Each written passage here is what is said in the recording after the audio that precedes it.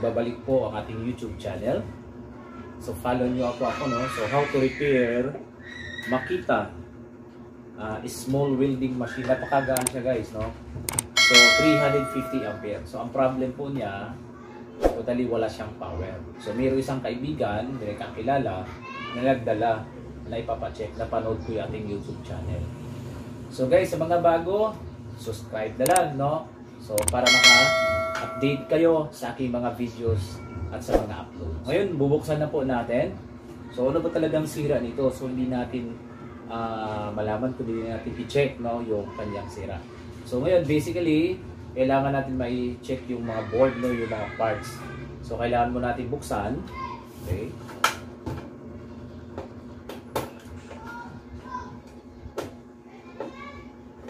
Ayan guys, so ngayon, hindi ko na siya i-plug, baka lalong lumala ang sira. So kailangan ko na lang siyang buksan. Okay.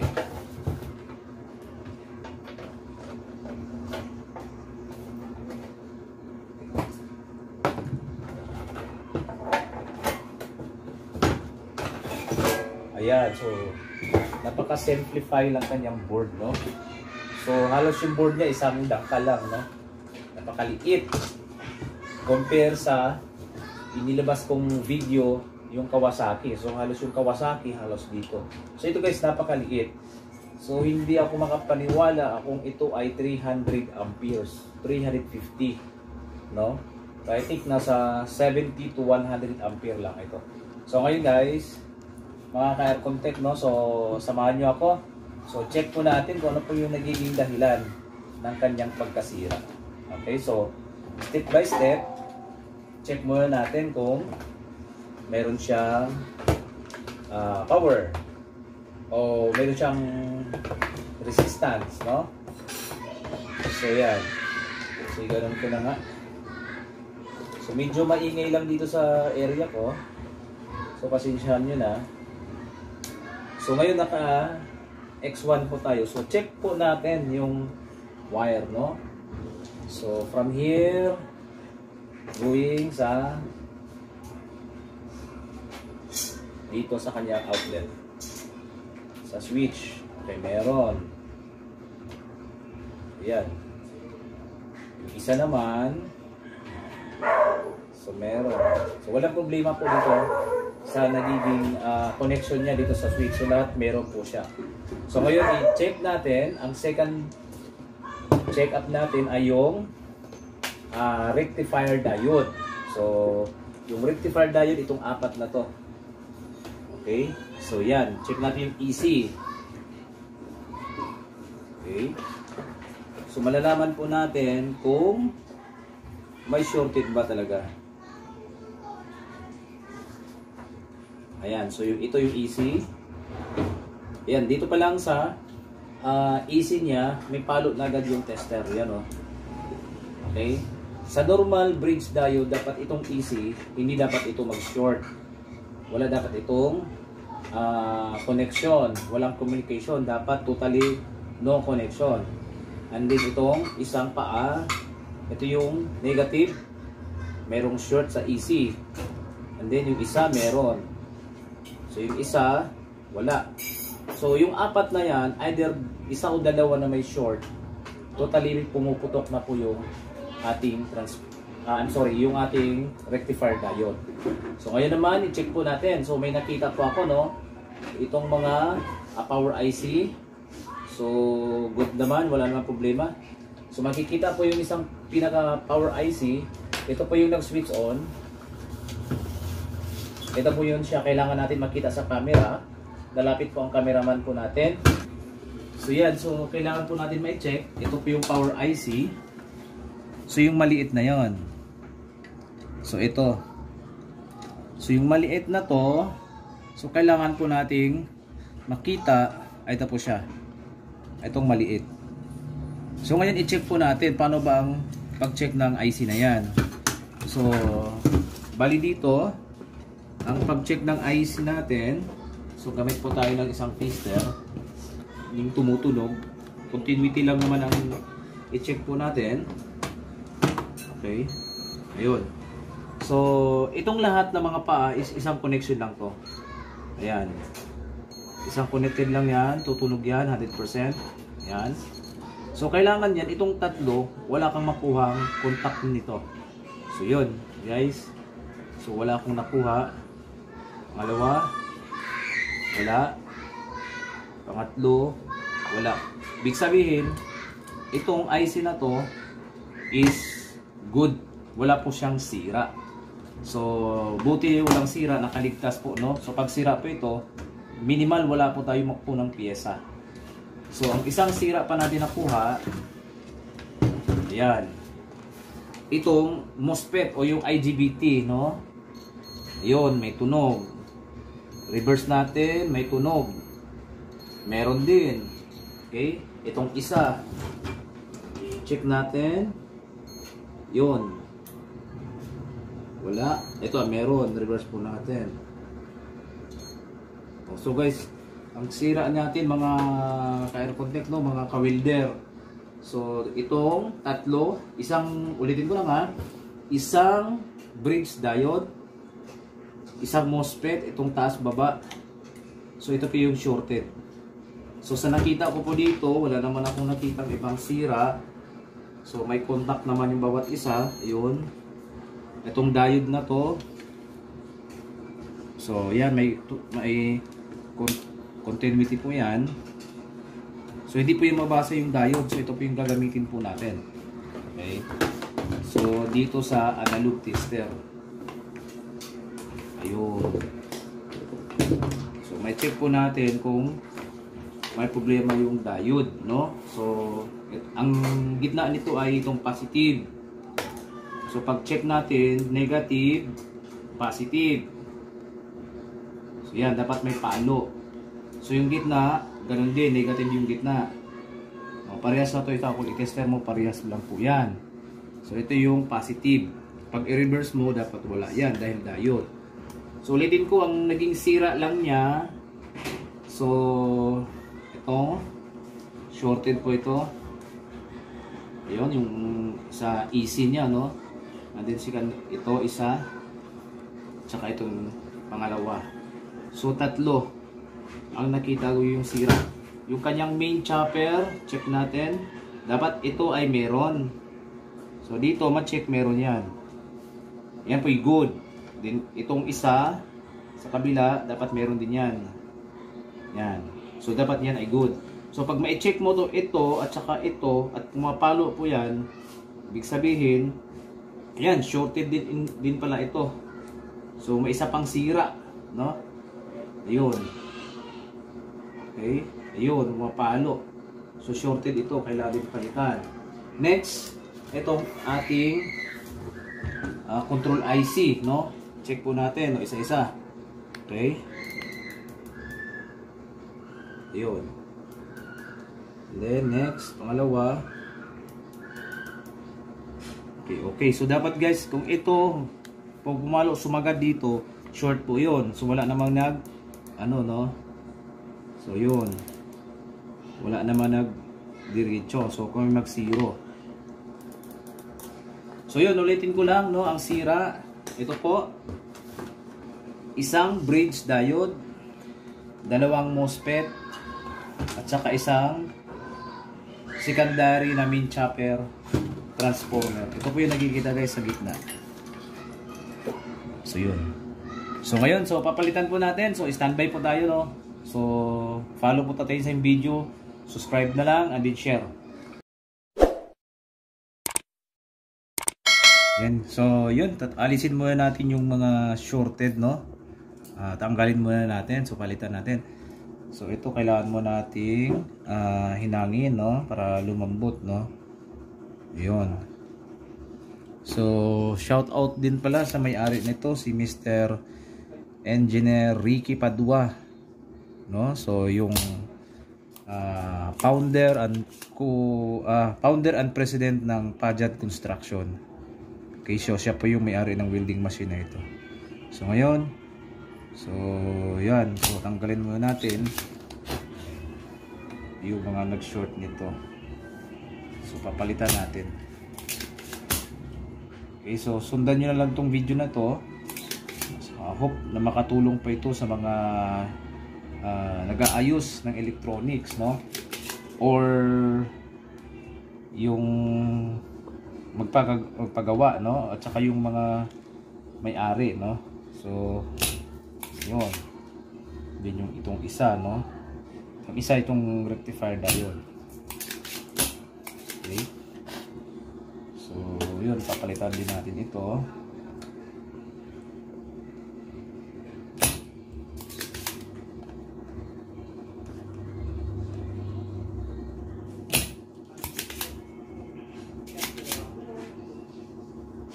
Ayan, itong chopper.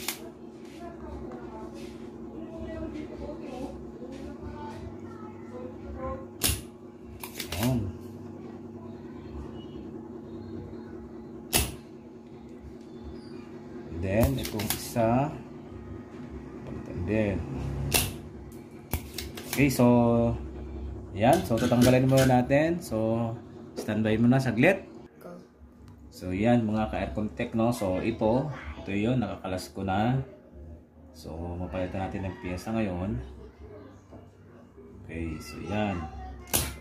Yun, tanggal na. Okay. So, ito po yung sira. So, check natin. Itong isa. Ito yung diode, no? Okay, so, sentiway mo na to. So, ito po yung mga sira ngayon.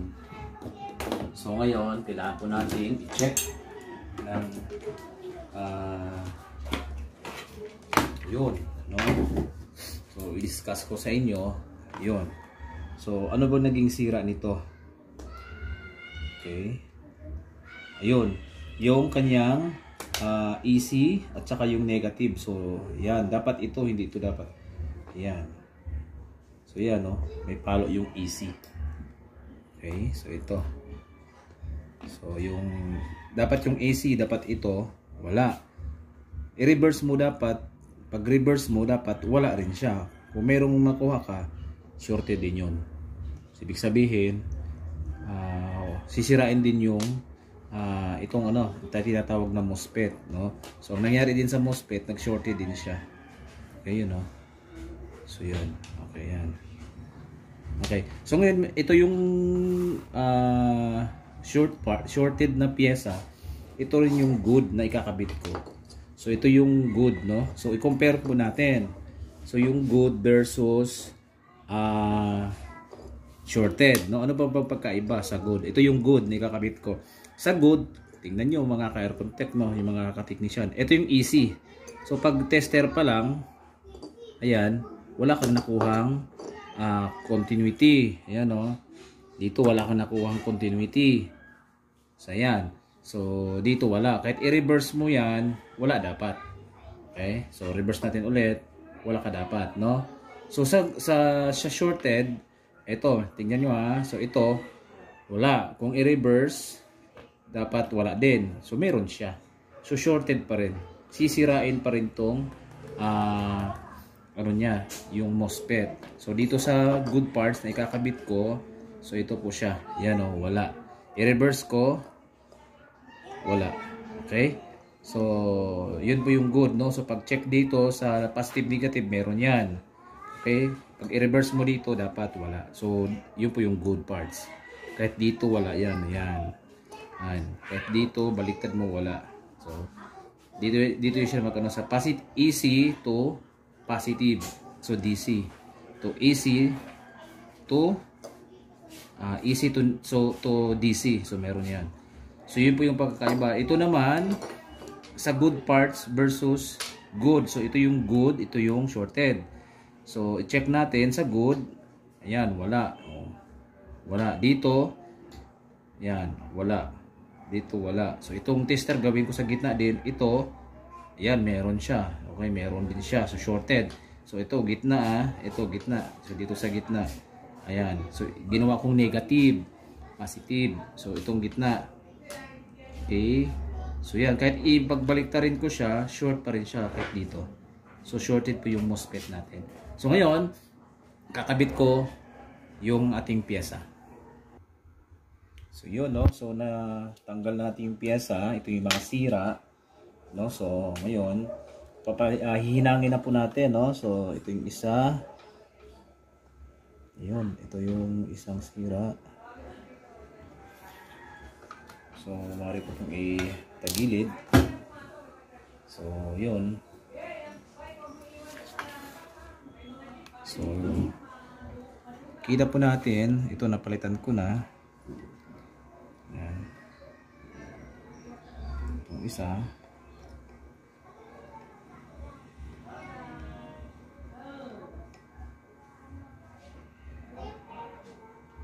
Tsaka yung min chopper, nahinang ko na rin to. Palitan na rin. Yan, tsaka ito.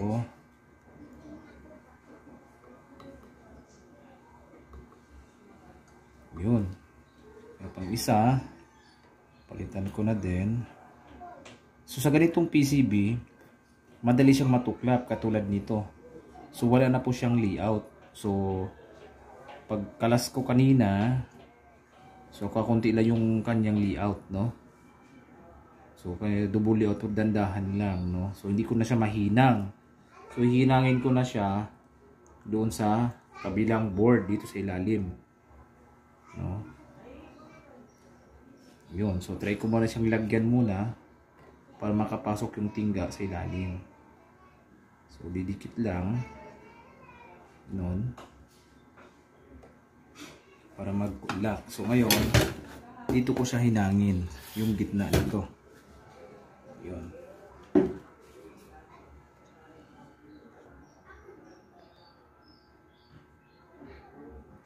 Yan. Kunting pasensya lang talaga sa ganito magre-repair, no? Okay.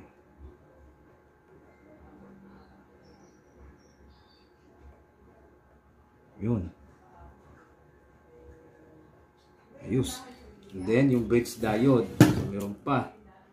So, apat ang pinalitang piyesa.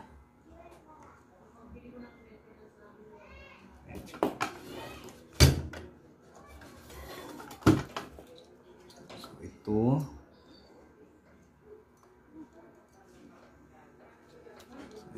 magdikit, no? Ayun. So, mahinang po natin. Yun, ito AC. Yan, so katulad nito na kunting ano lang no, natuklap agad yung kanyang PCB board, no? Ayun, no, natuklap agad oh. Tapos ito. So wala nang chance kundi baluktutin ko na lang ito. So, kailangan ko na siyang sigurong erekta dito. So, yon gagawin ko na lang since ito ay tuklap na irerekta ko na lang ito dito. Yun. Tapos isa ito. Yun. So wala nang ano, tuklap na po siya. Ayun oh. Wala nang ano, hindi nakakapit sa loob, no? So lagyan ko na lang. Yan, so dito ko siya dadamihan. So, yung easy power. Ito po yung galing ng switch.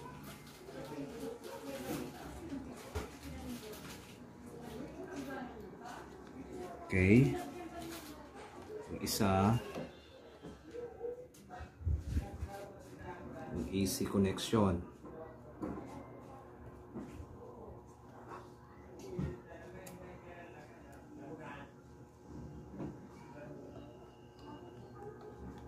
Yun. Medyo ano okay ayos so tanong Andar na ba kaya ito? So, lagyan muna natin ng thinner. Okay. So, gumamit po tayo ng thinner para yung mga hinin hininang natin walang short na nagdikit.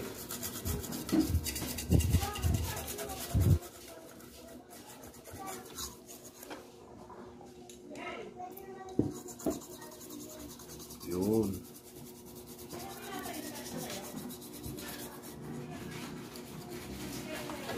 Ayan.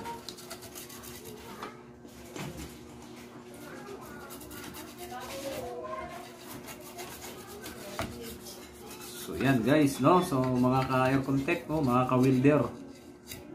So yun. Check natin kung may power. So yan. So, yun, so double check. Check natin yung kung may short pa. So dito kanina, so ulitin ko lang ha, yung main secondary no. So pag mag-check po kayo, dapat ito wala nang makuha.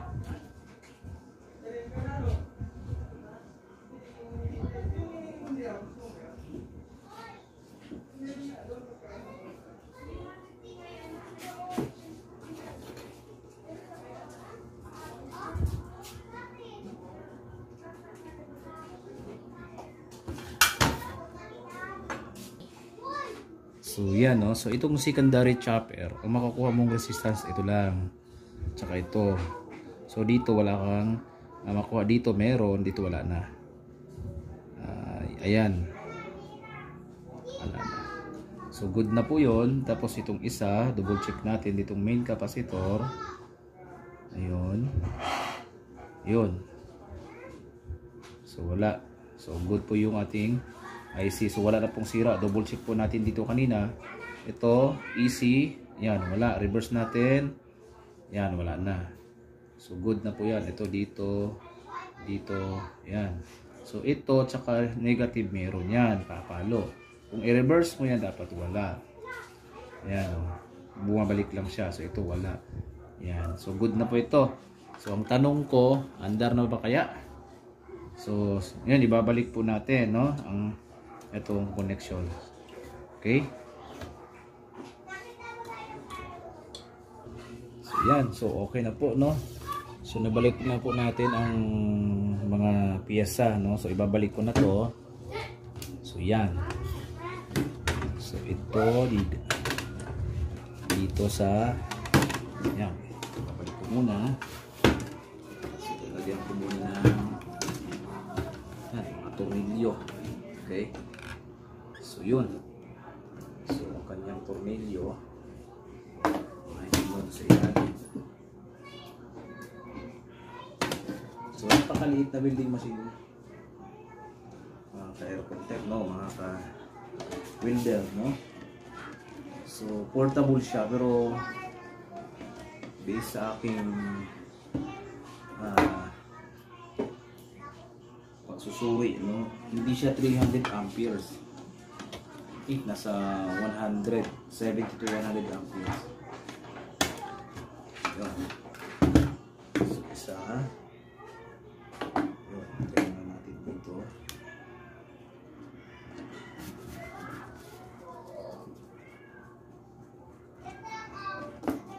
Isa. Okay. Ilan?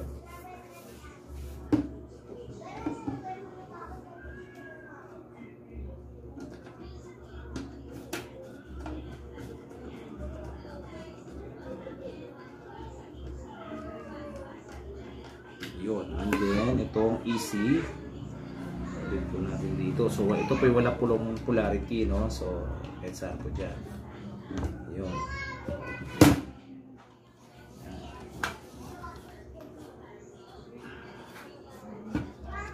Kailangan na-fix, no? Ay sa fan. Ito. Dito to. Ito yung sa fan. Yun. So, nagpo-protect po itong fan sa init, alikabok, tsaka ano. So, ayan. So, subok natin. So, may output po siya. So yan, so uh, nabalik ko na yung cover no.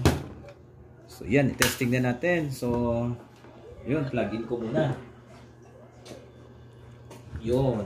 So ngayon, check natin baka puputok o hindi. Okay, sige, test. Ayun. Umandar. So ngayon, check natin kung merong ah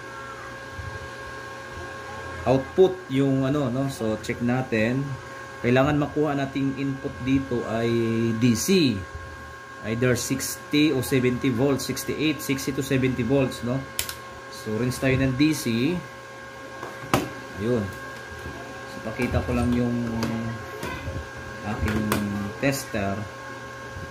So yun no? So kukunin ko po.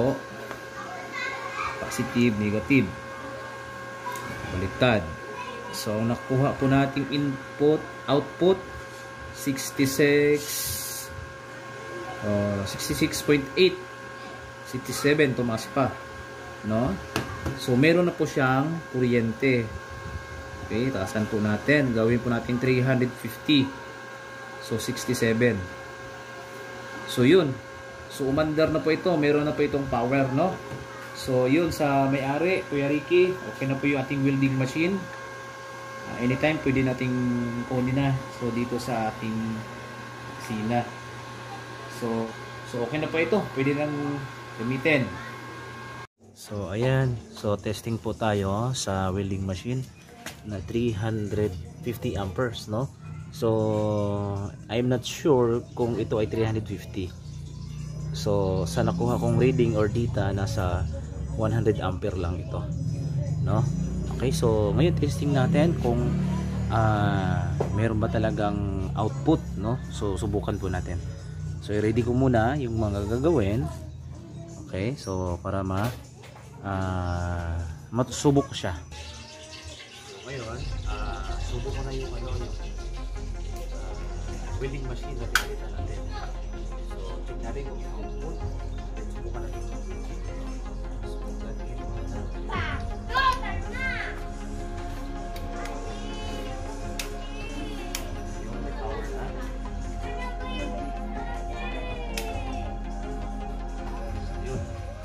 kuha natin ang output.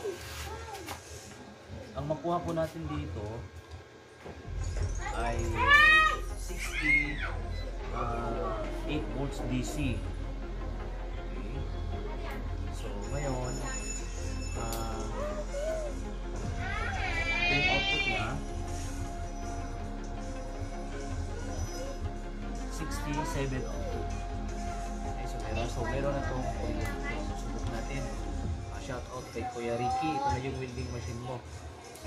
Natin.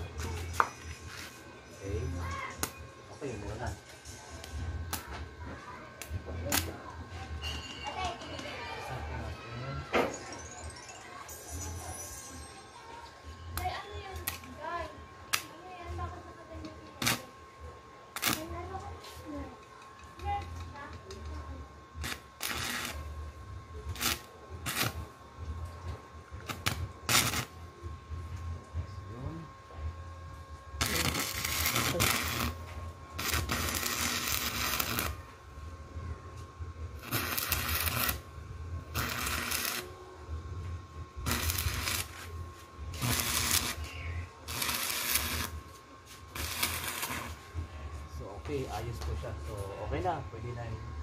Kukunin niyo po.